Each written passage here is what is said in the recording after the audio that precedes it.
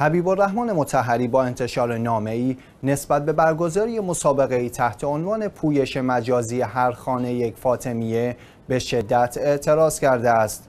به گزارش شیعه ویوز اخبار شیعان جهان حبیب الرحمن متحری از چهره های اهل تسنن ایران و مدیر حوزه علمی احناف خاف با انتشار نامه ای خطاب به ریاست اداره آموزش و پرورش شهرستان خاف نسبت به برگزاری مسابقه ای در ایام فاطمیه تحت عنوان پویش مجازی هر خانه یک فاطمیه به شدت اعتراض کرده و چنین اقدامی را مخالف وحدت اسلامی و کاری نسنجیده دانسته است.